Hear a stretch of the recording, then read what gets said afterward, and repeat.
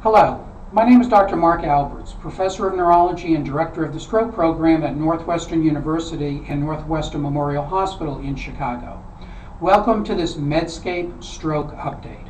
What I would like to do for the next few minutes is update you on a landmark trial, namely the PROFESS trial. This was recently published online in the New England Journal of Medicine, and the hard copy of it will come out very shortly in that same journal. PROFESS was a landmark trial in that it enrolled over 20,000 patients with a recent ischemic stroke.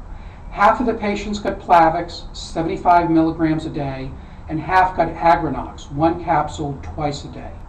The primary outcome in PROFESS was the first recurrence of any stroke, ischemic, hemorrhagic, or stroke of unknown etiology. Now, PROFESS was designed as a non-inferiority trial to prove that Aggrenox was not inferior to Plavix. And by strict interpretation of the study rules, it did not meet that endpoint. However, if you look at the actual outcomes, they were really almost identical in terms of the first recurrence of all strokes was essentially 9% in both groups and no statistically significant difference. What's curious is that if you look at the stroke types that were prevented or not prevented, in terms of recurrent stroke, there is a difference. In terms of both agents did a good job preventing recurrent ischemic stroke. But interestingly and unexpectedly, in the Aggrenox group, there were more hemorrhagic strokes. And this was statistically significant when you compare the hemorrhagic strokes with Aggrenox compared to Plavix. So this was a surprise that there were more hemorrhagic strokes with Aggrenox compared to Plavix and more major hemorrhagic events with Aggrenox compared to Plavix.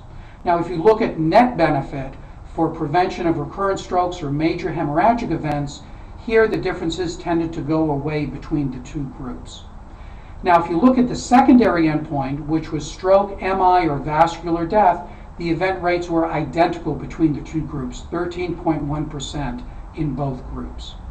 In terms of medication withdrawal because of side effects, this was more common with Aggrenox than Plavix, and these side effects that were seen more with Aggrenox than Plavix included headache, GI upset, dizziness, and fainting.